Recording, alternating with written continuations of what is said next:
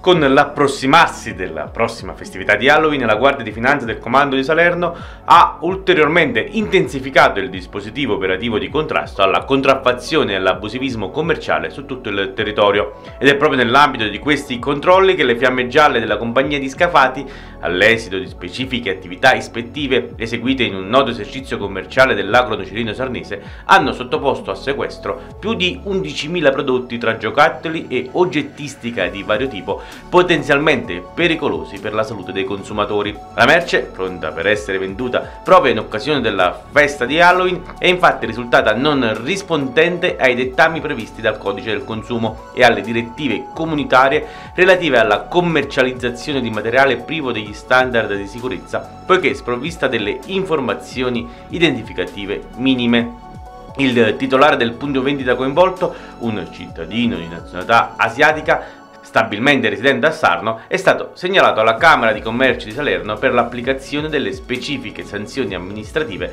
che possono anche superare i 40.000 euro.